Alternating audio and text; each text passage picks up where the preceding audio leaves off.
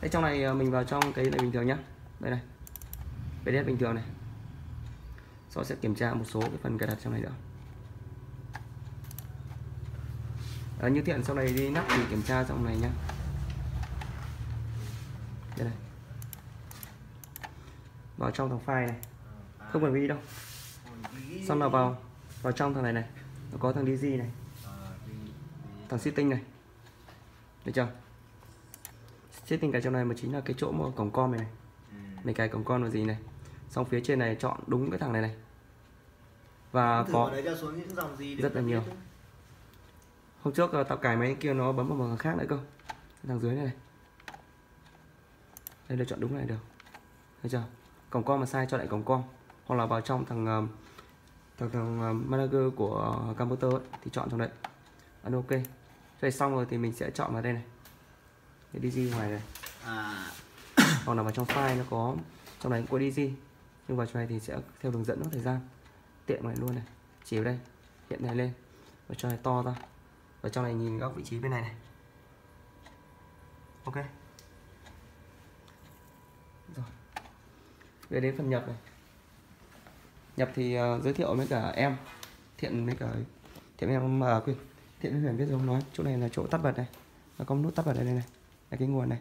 Ví dụ bình thường là mình bình thường mình tắt đi này. Thấy chưa? Bật lên một cái nó sẽ kêu tiếng. Đó. Đây là kết nối. Khi mà kết nối xong ấy thì đến phần này. Chỗ này là nhập số hóa này. Um, cái bảng này bình thường của mình hiện tại mình đang nhập thì cho cái thằng um, thằng Gerber được chưa? Cho Gerber ở đây. Còn cái bây giờ mình nhập trên này này thì mình sẽ quan tâm đến hai cái thông tin một là các nút ở đây. Được chưa? Nhưng mình không cần hoàn thiện tất cả 16 nút này đâu. Đây, các nút đây này. Được chưa? Thứ hai là quan tâm đến cái phần này đây này.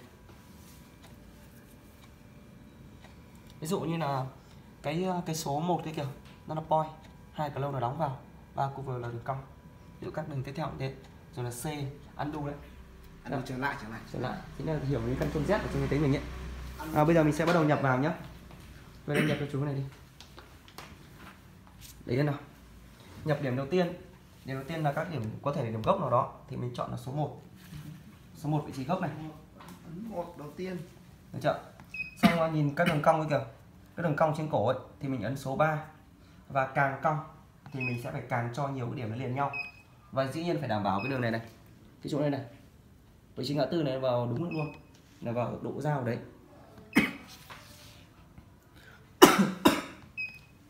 mình hoàn thiện hết một chi tiết rồi nhé. không nhiều đâu. Tới vị trí đường kia. Tới vị trí đường đấy là một dấu ấm. 35 cứ cong là số 3 được chưa? Cong là số 3 còn nếu mà vào cái điểm, ví dụ các điểm mà điểm góc chốt ấy, hoặc các điểm nhảy thì mình sẽ chọn nó là cái, chọn nó là cái số 1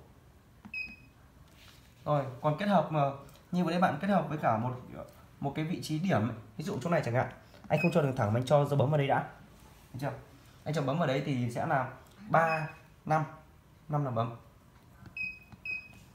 Còn nếu như mà mình đang thao tác mà bị sai tức bị vượt ra ngoài ấy, hoặc nó bị lệch ra ngoài ấy, thì mình có thể là sử dụng cái lệnh để nó quay trở lại.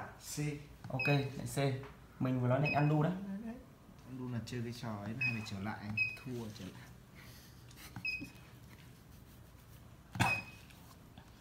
đây bây giờ mình sẽ đi đường ngoài trước.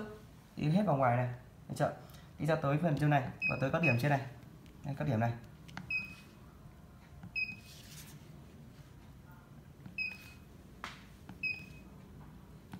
Rồi một chút. Và khi mà đi xong thì hình nó như thế này. Đấy, đi tiếp cứ thế từng đoạn từng đoạn một. Nó sẽ liên tiếp các đoạn tiếp theo. Được chưa? các cái vị trí mà mình đang nhìn như dấu sao đấy dấu cộng đấy thế nó chính là cái bấm đấy. Tí lên hoàn thiện thì nó sẽ ra cái bấm ở trên mẫu.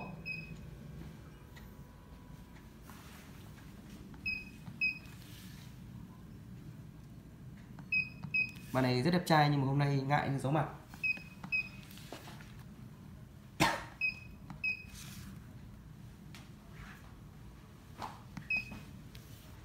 Ok, thẳng luôn. Khoan đã. Nếu mà tới chỗ thẳng này rồi, mà mình không cần các cái đường trần này này, không cần đường trần đấy thì mình cho phát lên trên kia. Không cần nội vi nữa, cho thẳng lên kia luôn. Bấm số 2 để kết thúc nhé còn nếu mà bây giờ mình có đường trần này, thì mình lấy vị trí điểm này này, vị trí các điểm đây này. Cộng thêm nữa, mình phải có nội vi nữa, thì mình sẽ đi.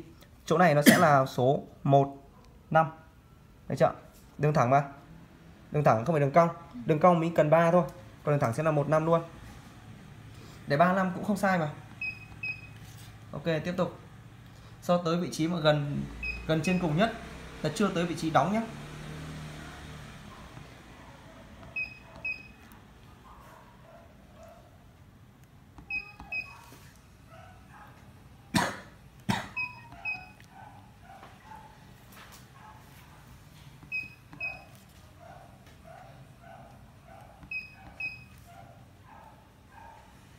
Rồi, nhìn tiếp bên kia đang gần hoàn thiện rồi. Nó sẽ như này. Ok chưa?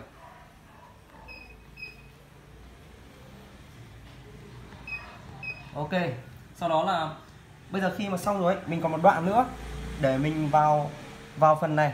Là coi như kết thúc chỗ này ấy. được chưa? Nhưng mà chưa kết thúc được bởi vì mình đang có hai cái điểm này. Nội vi. Sau hoặc là nhiều các vị trí nội vi khác nữa. Thì mình cũng sẽ là phải vào trong nội vi đã để khai báo vào nội vi thì ấn F F một lần thôi. Ok. Sau đó chọn một điểm đầu tiên. Chọn số 1 bình thường. Sau tiếp tục số như này. Lại số 1 ta mình sẽ vẽ một đường thẳng. Được chưa? Khi mà xong cái nội vi rồi, bây giờ mình muốn là kết thúc đoạn này. Nếu mà còn nội vi khác nhé nếu còn nội vi khác thì mình bắt buộc kết thúc đoạn này đã. Bằng cách ấn F một lần. Là coi như thoát ra ngoài. Và muốn vào nữa, ấn F một lần nữa để vào. Được chưa? Và ở trên này mình sẽ nhìn thấy nó có một cái thông tin nữa này. Số 8 và số 7 hai số này, nó có một thằng là button và circle. Tức là bạn muốn tạo ra cái cúc hay là tạo ra cái đường tròn ấy, thì bạn ấn vào cái lệnh đấy. Được chưa? Nhưng chỗ này mình không có, thì mình không cần nữa. Và chọn số 2 để đóng vào. Ok. Đóng vào thì mình nhìn bên này này. Đây. Chi tiết nó thành như này rồi. Tức là cái vừa đoạn vừa đấy là cái đoạn một ít đây này mới đóng vào đây này. Đấy, còn lại một chút nữa. Rồi khi mà đóng vào xong rồi bây giờ tiếp tục sang là mình sẽ phải cài đặt cho nó cái canh sợi.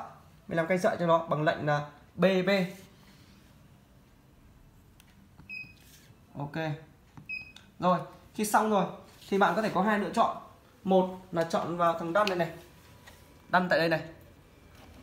Đây này. Được chưa?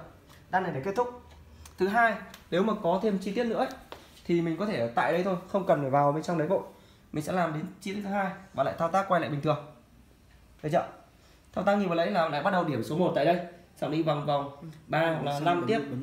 xong đi tiếp đi tiếp đi tiếp. Được chưa? Đến lúc mà kết thúc rồi kết thúc hoàn thiện rồi. Thiện ơi. Vào đây đã. Xong tí nữa tí thực hành nhạc cái đấy mà. Hoàn thiện rồi thì miếng vào đan này.